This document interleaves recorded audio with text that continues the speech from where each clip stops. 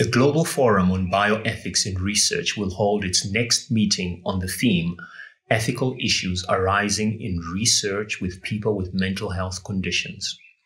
The purpose of this video is to provide an overview of the meeting topic.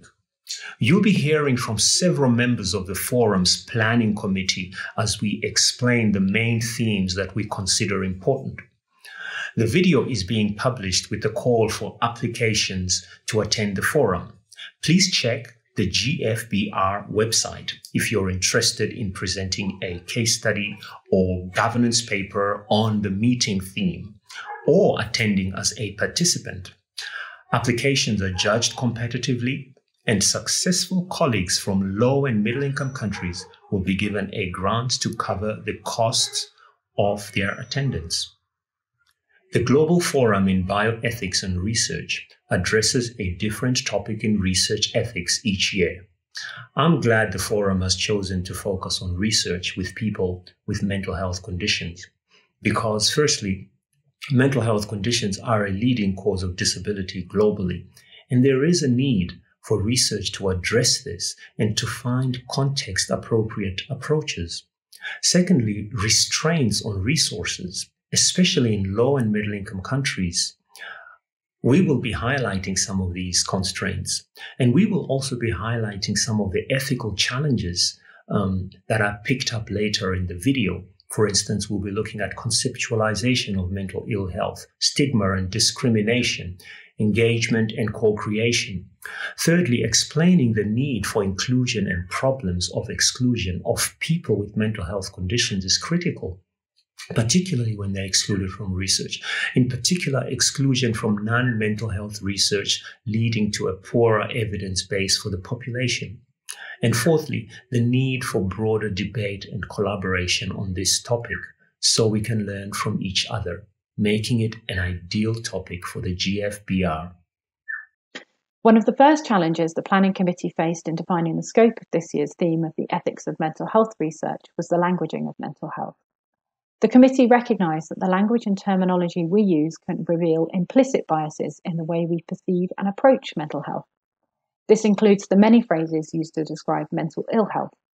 For example, speaking of mental disorder can reflect a biomedical framing, whereas mental health problems may indicate a biopsychosocial model that recognises a range of determinants of mental health.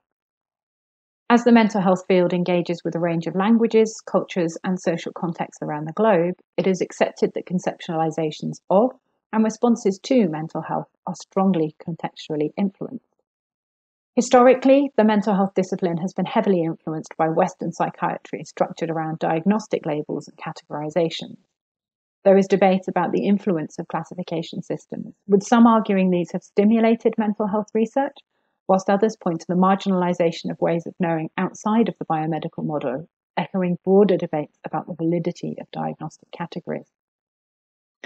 Research contributing to these debates includes studies that document locally relevant language and ways of understanding and communicating about well-being and distress and ways to intervene to improve mental health.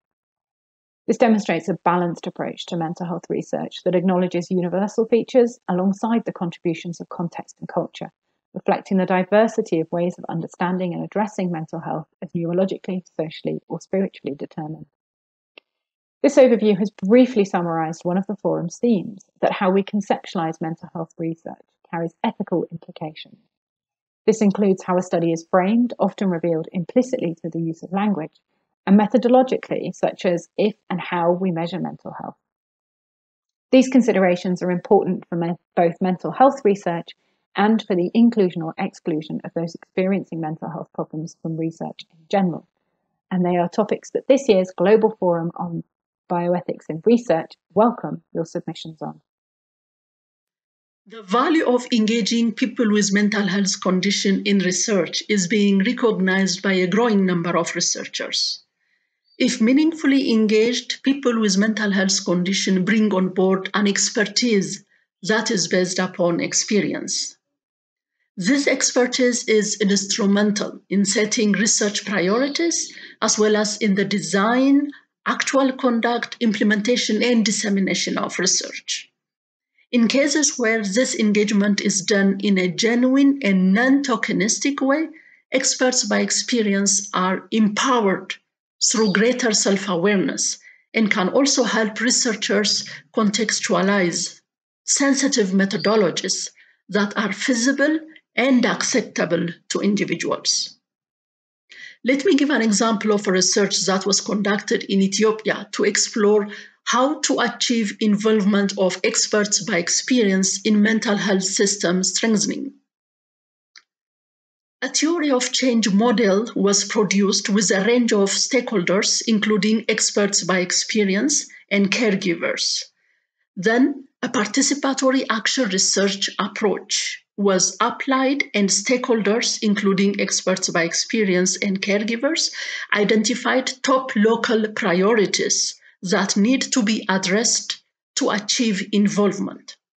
A smaller research participant group comprising experts by experience, caregivers, and health professionals was then established and worked together to explore in more depth the priorities identified by the stakeholders. An action plan was then developed, which the research participant group is implementing with assistance from academic researchers. Experts by experience were involved at all stages of this research process, including dissemination of the outcomes of the research as engaged owners of the process. This is just one example of how experts by experience have been involved in research. At Global Forum on Bioethics Research, we want to discuss what other methods have been used to engage experts by experience to promote the co creation of mental health research methods and practice. We are also interested to explore who else should be engaged. For example, when and how should carers or local communities be engaged and for what purpose? We invite you to submit a case study on this interesting theme and share your engagement experiences. Stigma and discrimination for the people with mental health issues is a worldwide problem, and it is a precursor for the social exclusion and human rights violations. In this context, people with mental health issues may be vulnerable to stigma through their participation in mental health research. To mitigate this, the researcher needs to train the data collection team in privacy, confidentiality, respect, and dignity. It is important to remember that the research should not make research participants more vulnerable or increase self stigma. For example, if a woman who is a research participant and undergoing domestic violence, then labeling her with mental illness will cause more harm to her. As explained earlier in this video, people across different cultures and geographies use different language and explanatory framework to address mental health problems. Language is an important contributing factor to stigma, and a researcher needs to be mindful of this when they design the research study. Thus, the stigma and discrimination can be a huge barrier for conducting research at individual and community level. A researcher needs to understand the language, culture, and social views regarding mental health while designing the research study. We welcome your case studies on this important theme. The case study could draw on real life research to discuss what strategies researchers can adopt throughout the research process to mitigate or address mental health related stigma. Or the case study could discuss what approaches can be used to aid cultural understandings of stigma towards those with mental health problems. For example, if you have an experience of running an anti-stigma campaign as part of your research. Research is essential to improve healthcare for all members of society. That is why people with mental health conditions who lack or have fluctuating capacity must have equitable access and opportunity to participate in health research as any other person. As vulnerable persons, they require special protection. However, protection by exclusion seems to be the answer in many countries in my region of Latin America.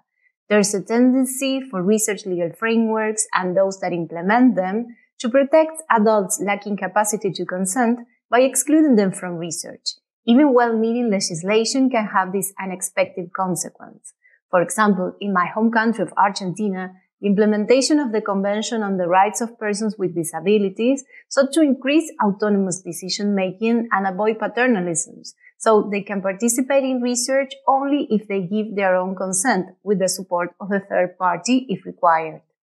But there's a regulation gap. What happens with adults lacking capacity to consent? By previous law, an authorized representative could give consent on their behalf. But is this allowed by current civil law or is it a paternalistic approach? And if it is allowed, who can decide on behalf of the individual? What is the basis for decision making in research? Is it the best interest of the person or his or her presumed will? This legal uncertainty reinforces the tendency by those approving and conducting research to exclude them to avoid difficult decisions about seeking consent for their participation in research.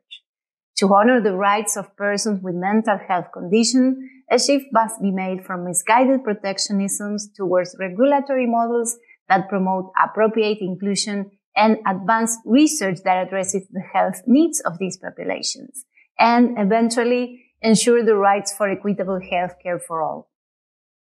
I've given an example of the regulatory model in my country with wide submissions of governance papers that explore this theme in other national contexts. Does your country's current ethic governance structure, processes, and practices support the inclusion of people with mental health condition in research or result in exclusion? This video has described a number of things for the next GFBR meeting. Details on how to submit a case study, a governance paper, or how to apply as a participant are available on the GFBR website. Ultimately, the meeting agenda will be determined by the submissions we receive. So we look forward to receiving your submissions and to hearing from you what you think are the most important ethical and governance issues arising in research with people with mental health conditions.